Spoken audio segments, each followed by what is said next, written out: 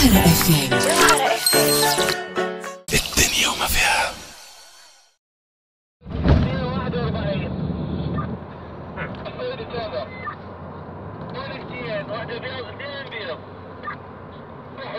جبت 48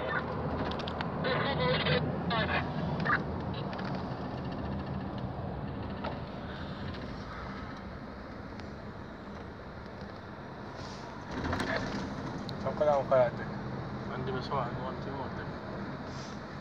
والله أشهد عن عن جبل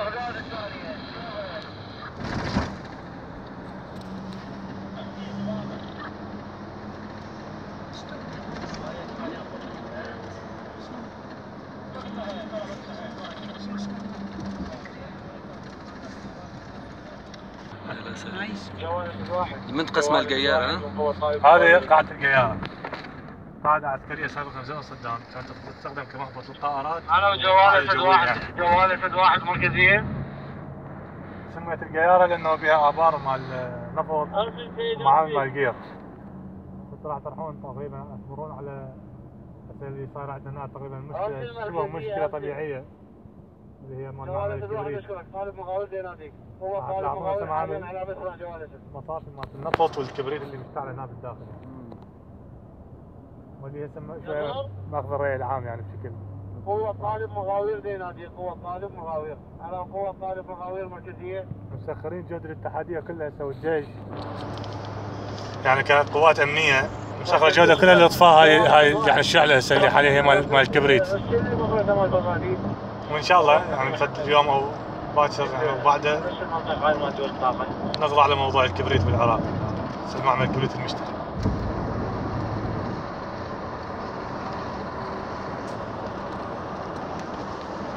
هو الضرغام واضح. باقي القطعات نوعي اثنين سبعة خمسة ثمانية تسعة داش تسعة صفر اثنين ستة سبعة.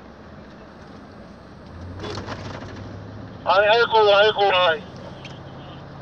قوة هشام هاي قوة هشام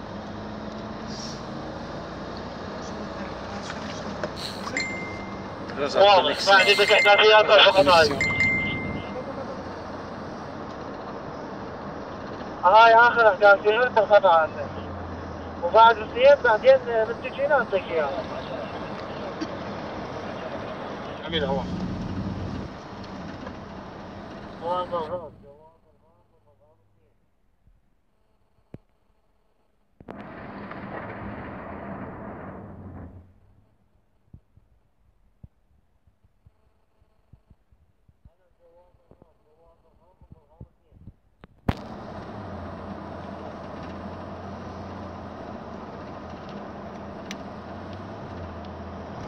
نفس الضفافتين انت سيدي.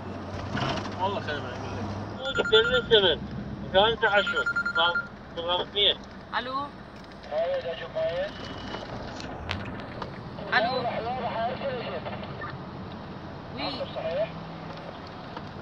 اسمع فيك مش بالكدا انت تسمع فيها ها منادي المركزين انت صوتي واضح هاي يا جبران عدين عدين سمحتي قديش تبعد لهنا؟ إحنا توا شو اسم المدينة هذه؟ هذه منطقة القيارة يعني لسه في القيار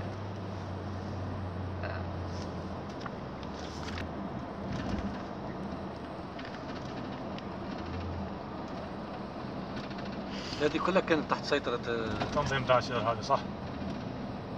والآن صارت محرة أصبحت محررة عن المواطنين يعيشون حياتهم بشكل طبيعي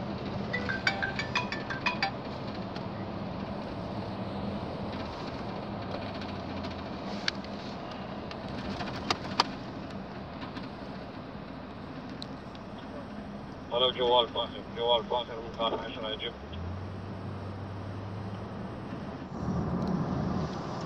هذه السيارات المفخخة على اليمين ممكن نشوفها في وتنكر مفخخ. تم على تنقل القطاعات. هذه سيارات مفخخة. سيارات مفخخة.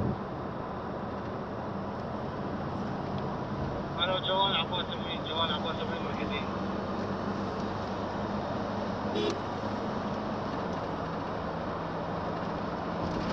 إحنا تو وين بالضبط؟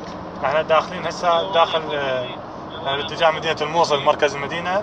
أكو اغطيه هنا على الطريق على على يمينك هسه انت يعني على يمينك هسه حاليا الشط أو النهر. هسه على يمينك هسه انت وإحنا بمحاذاه هذا نمشي جوال عباس تموين جوال عباس تموين مركزية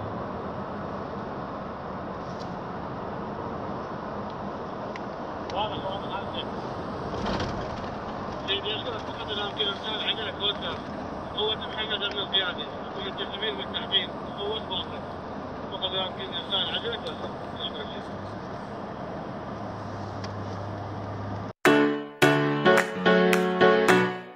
يمكن اف ام